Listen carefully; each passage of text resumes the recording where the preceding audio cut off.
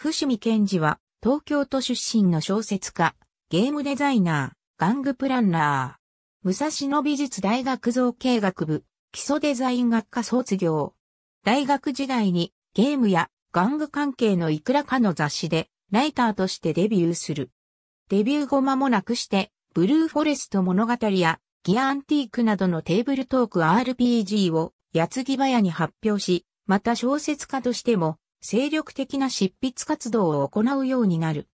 美術大学出身ということもあってか、ゲームデザイナーとしてはレイアウトから箱の成形などのコンポーネント部分まで含めた総合デザインを行うことにこだわっており、文章もイラストも編集も企画もすべてのデザインをこなすことができる。このことからデビュー当時は若き才能として注目された。団体としては冒険企画局に参加。また、FEAR 社の設立メンバーの一人でもある。1999年に FEAR 社を退社。独立後は介護福祉士に転身した。そちらを本業としつつもアナログゲームの販売会社、グランペールを立ち上げ現在でもゲームデザイナーとして活動中。